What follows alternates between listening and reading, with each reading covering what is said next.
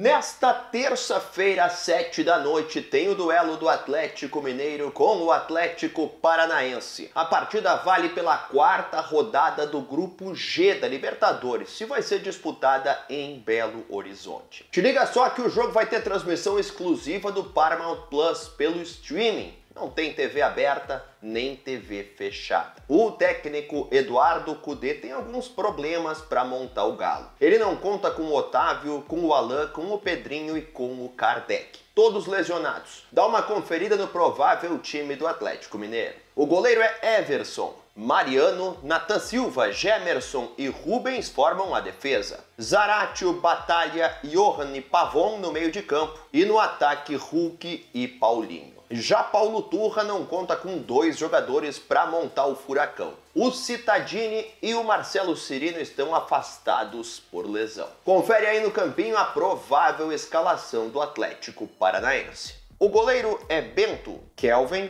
Zé Ivaldo, Thiago Heleno e Fernando formam a defesa. Eric, Christian e Fernandinho no meio de campo. No ataque, Canóbio, Vitor Roque e Pablo. Confere a programação do canal do All Sport no YouTube que tá imperdível. De segunda a sexta, sempre ao meio-dia, chega o de primeira, com muita informação, entrevistas e a participação de toda a reportagem do All Sport que te coloca por dentro dos bastidores do mundo da bola. Também de segunda a sexta, às seis da tarde, tem o Fim de Papo, aquele debate que te mostra todos os pontos de vista sobre as informações que aconteceram ao longo do dia. Além disso, te prepara para tudo que vai ser notícia no dia seguinte. Eu sei que você curtiu, então tá esperando o quê? Te inscreve no canal do All Sport, deixa o like nesse vídeo e é importante que você ative o sininho de notificações para ser avisado a todo novo conteúdo que for publicado, tá certo? Eu quero para fechar saber a tua opinião. Vai dar galo ou vai dar furacão no jogo da Libertadores? Deixa a tua opinião